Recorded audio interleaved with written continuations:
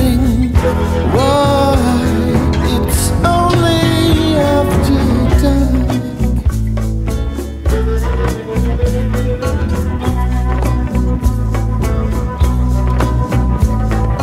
In her eyes, a distant firelight burns bright.